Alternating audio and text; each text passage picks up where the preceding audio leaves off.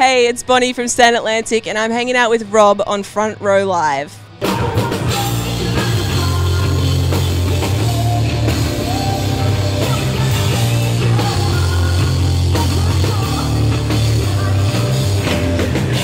Finally hanging out with a band that I've been into for the past year, Stand Atlantic. Bon, how are you? I'm very well. How are you? I'm, I'm great. I'm glad you guys are finally here in LA. We're not in LA, but you know, close enough. Close This is the closest we get to you in the States. Yes, yes. And congratulations, big news with the signing of Hopeless Records. That's incredible. Um, how you know how did this process happen for you guys?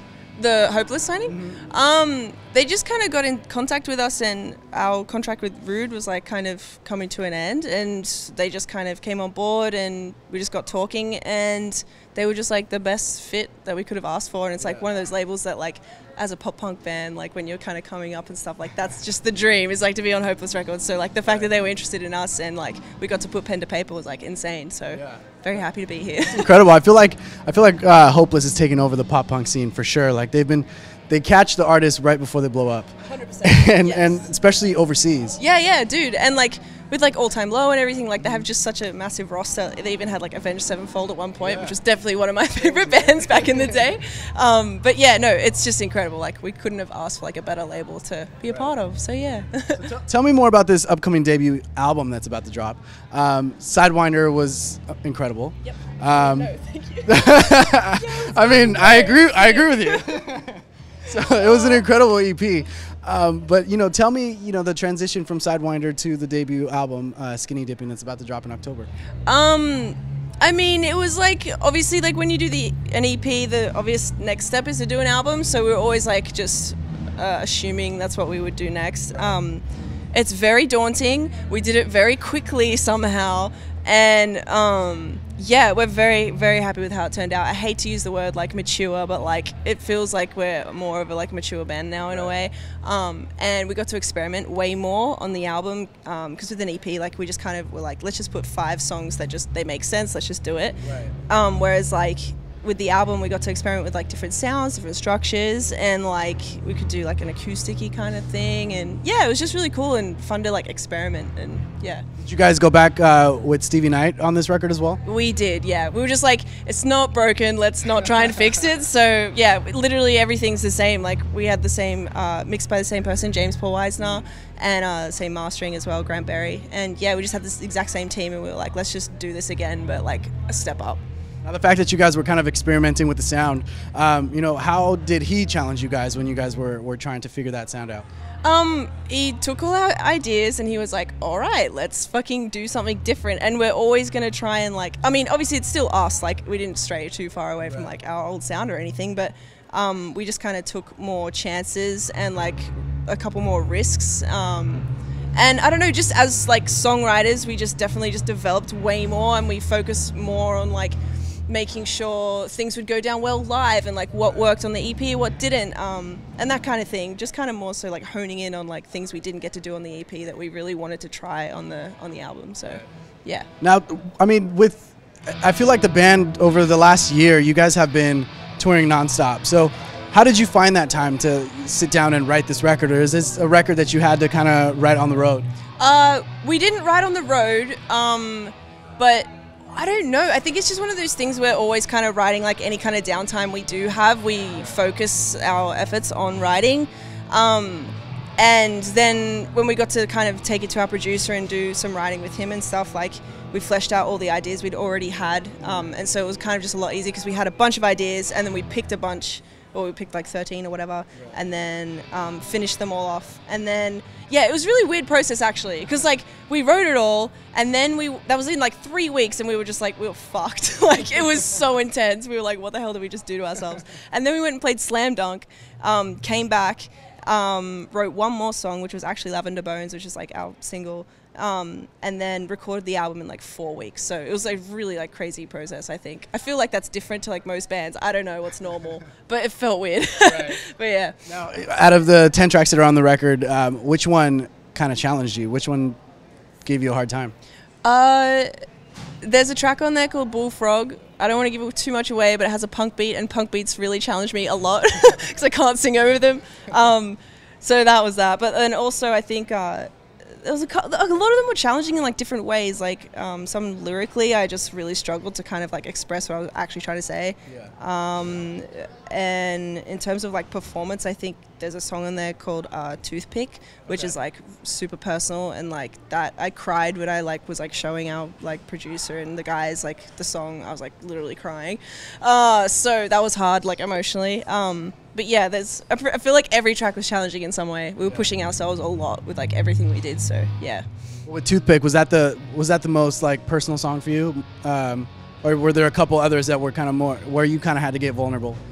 they were all super personal, which is like scary as fuck to be like, yeah, this is our album, and every song, like, you're probably gonna know everything about me. Um, but Toothpick was definitely like that was the one that was just like, yeah. Where every time I like hear it, I just like am exactly where I was emotionally when I wrote it, and it just like fucks me up. so yeah. That's rough. How did you How did you get comfortable in the studio um, recording that? Uh, I don't know. I don't know. It was hard. I guess I tried to remove myself as much as possible, like emotionally, in is like in a good sense, just so I didn't cry every take because that would just be stupid. Um, but yeah, like I just kind of like. I don't know. I just tried to like block it out in a way, but like make focus on like what I was actually doing and not like how I was feeling, if that makes sense. Yeah. And what about the guys? Like, how what did they do differently this time around with the instrumentals?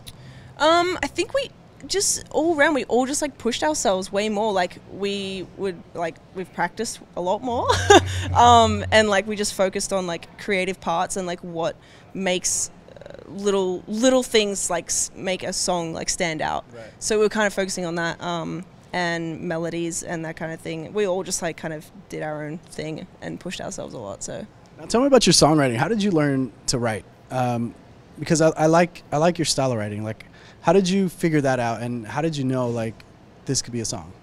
thank you. Um, I never have known that. I I'm wondering that. I'm still like, okay, I don't know how I did that. I wish I could like, I wish I knew because then I could be like, oh, I could do that easy. Um, I don't know. I think uh, from a personal standpoint, like I've always just written about how I feel, and that's like kind of all you can really do, I guess. Like I'm not the kind of person that can be like, oh, I heard about this story that my friend happened to my friend. Like I'm gonna write about how they lost their keys. Like I can't do that. I don't know why. A lot of people can, and that's fucking insane. But I can't. So I'm always just like, I feel sad, so I'm gonna write about it. um, but yeah, I don't know. I've just always kind of I've always just done it. It's just something I've always done. I don't know. I wish I had a better answer for you. I mean, do do lyrics kind of flow for you? Do you think about them like, oh, this would sound nice, or um, may- you know, you already have a lyric, but you want to kind of tweak it a little bit? How do you go about that?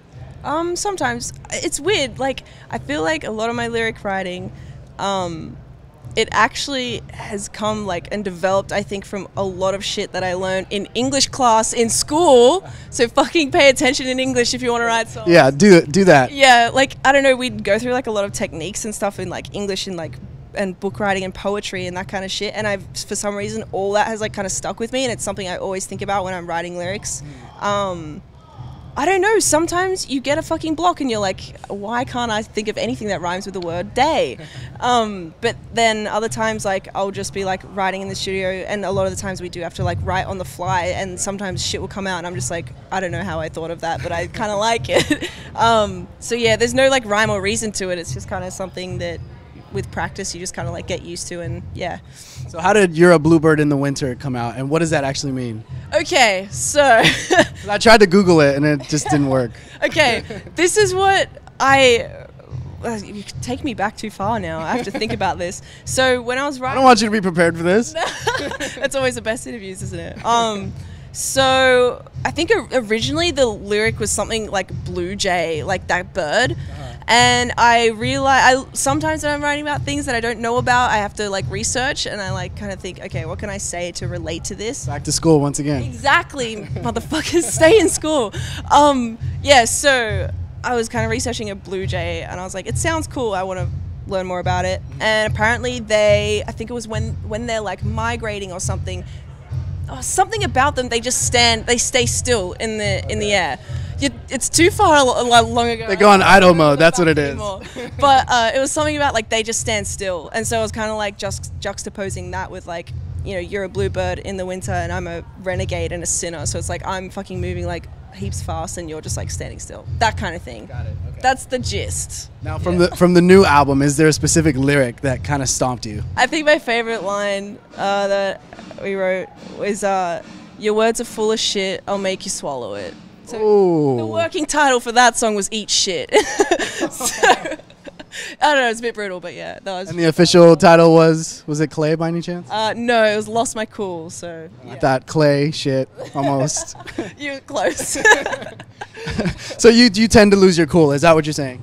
Um, yeah, in writing, yeah. like in person, I'm like a very timid, shy person, but like when I'm writing, I'm like, I'll give it to you because I can't say the shit to your face, so I'll write it. Um, yeah. So yeah.